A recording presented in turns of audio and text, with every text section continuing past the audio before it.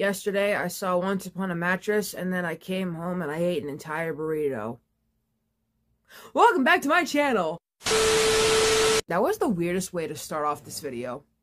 But anywho, this is uh, another part to Monkee. Woo! This isn't necessarily going on the Monkees playlist because I don't think they mention the Monkees in this Wikipedia article or Wikipedia thingy or whatever. But um, I still wanted to talk about this. Nick Magazine is a defunct American children's magazine inspired by the children's television network Nickelodeon. It's first.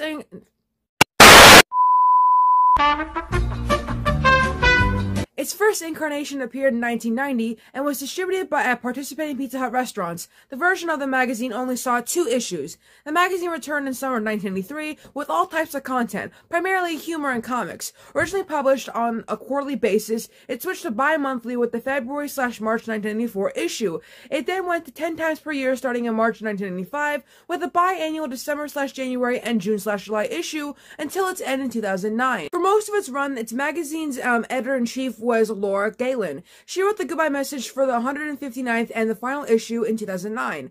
On February 5th, 2015, Papercutz announced that they would they worked a deal with Nickelodeon to create a new version of the magazine. The first issue was released on June um, 2015, and then the final issue was released in 2016. Yeah, it really didn't have a long run. Before we get into everything else, I'd like to briefly mention that in 1990, R.L. Stine was the editor for Nick Magazine, so Thank you. Thank you. Pizza Hut and R.L. Stine? Cinema.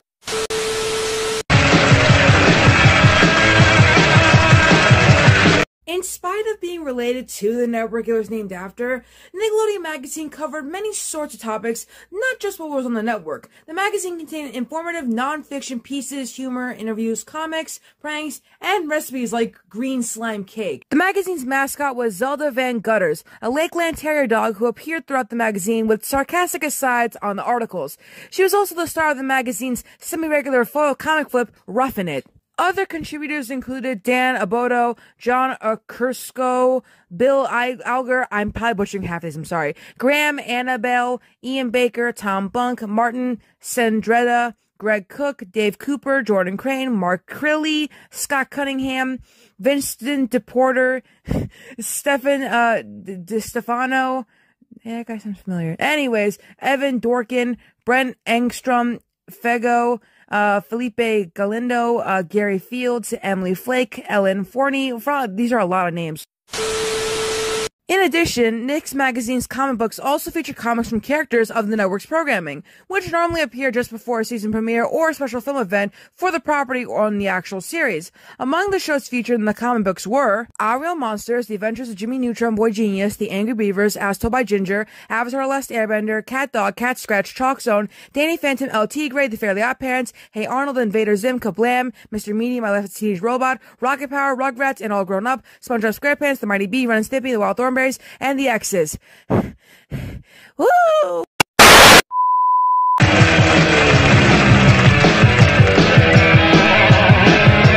So Nickelodeon Comics, formerly titled Nickelodeon Magazine Presents, was a series of one-shot special issues put out by Nick Magazine. Each issue tied, tied in with a comic. Uh, Nickelodeon Comics mainly contained comics, either newly made stories or two-page shorts reprinted from Nick Magazine, but it also featured articles, puzzles, and poster inserts. We'd probably be here all day if I read every single one of these. So I'm going to send it over instead to my man Walter, who will read all of it for me. Fiona of the Felines by Terry LaBan, a girl who is raised by cats. Her strips are occasionally accompanied by a similar strip title Warren of the Worms. Grandpa and Julie, Shark Hunters by Jef Czekaj, this strip's titular duo consists of a blonde-haired girl and her dim-witted grandfather started out searching for Stephen, the largest shark in the world.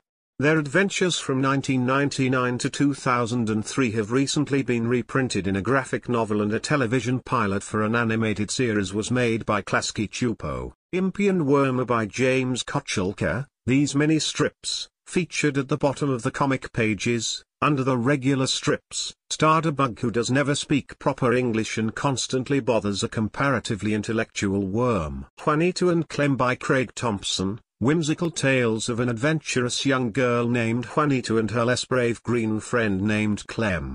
Carmopolis by Nick Bertozzi, an adventure strip in a world where everyone and everything is on wheels. Mervyn the Magnificent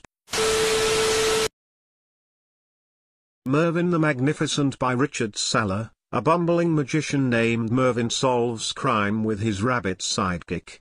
Patty Cake by Scott Roberts, a bossy blonde-haired young lady with a flower in her hair. Sam Hill and 9 by Mark Martin, a boy and his robot dog. Seen but not heard by Sam Henderson, the going-ons of a pink man and a bear, who compulsively pull pranks on each other. As the strip's name suggests, the comic is made entirely of pictures with no dialogue or sound effects.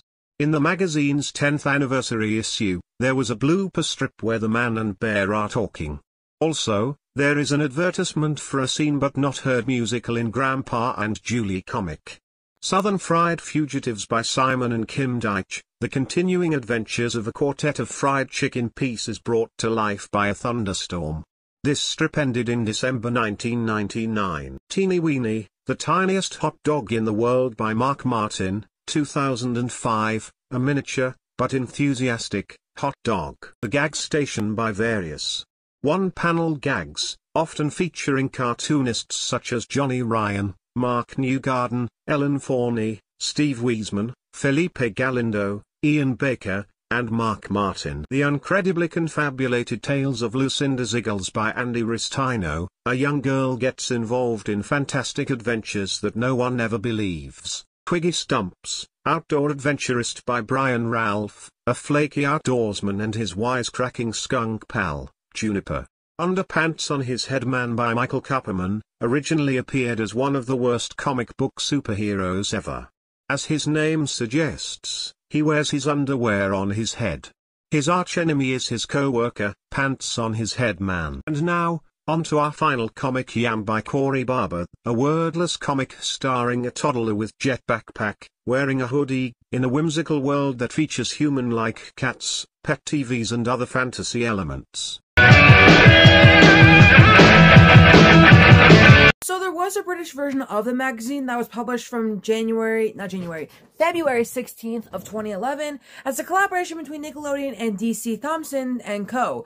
Um, it was discontinued as of June of 2012, according to Wikipedia. I have no idea where it is. Probably lost media for all I know. Viacom ended operations of the magazine on June 2009, though the last issue was published in December of that year, due to economic conditions and the continual move of the network's content to their website.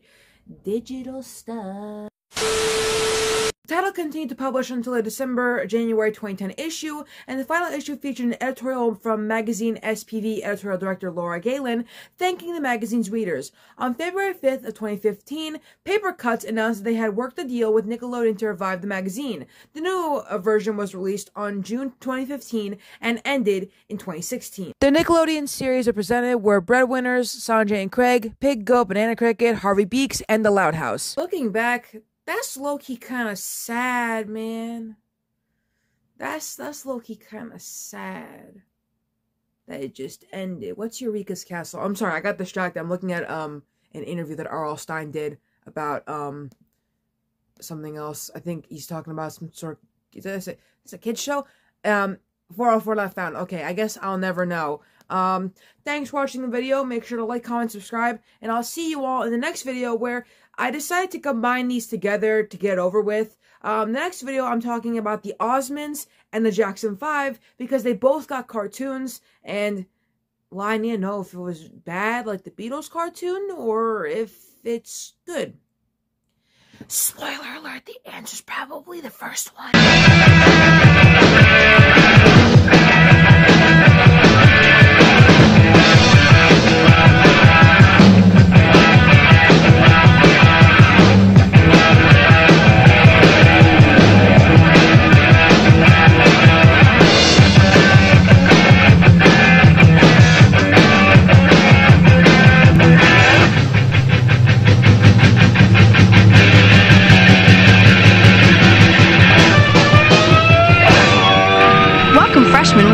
Recorded at Nickelodeon Studios at Universal Studios, Florida.